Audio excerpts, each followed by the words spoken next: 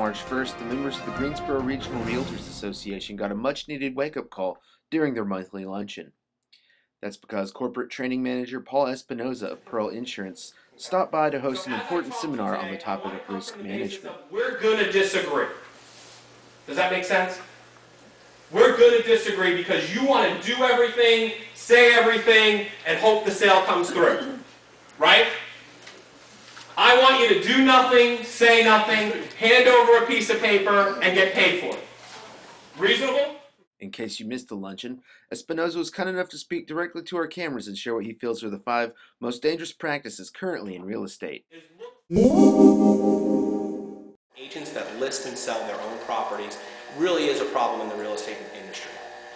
The average claim when an agent sells their own property is over $80,000. So if you are selling their property, if you're selling your own property, I encourage you to let another agent list that property for you and do that work you. You're working with another agent in the same office or in the same firm that really does have a higher tendency for a bigger damage award. Make sure you're treating everyone fairly and honestly. Make sure you disclose what the agency relationship means and how it can affect your buyers and sellers. It's really a key step in, in, in establishing a good relationship and good trust with your clients early on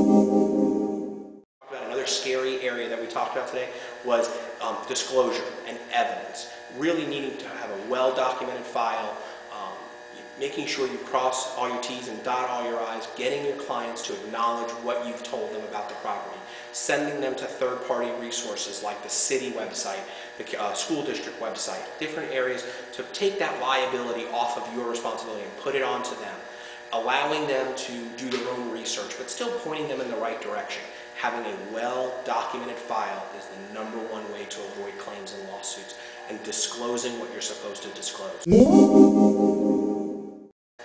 The economy being what it is today, we're having, you know, there's a lot of short sale situations, a lot of bank-owned property, just using extra caution with that disclosure. Making sure that in a short sale, your sellers know what the financial ramifications are involving a short sale. Sending them to a CPA to understand what the tax implications are critical component when we talk about um, distressed properties and the sales of distressed properties.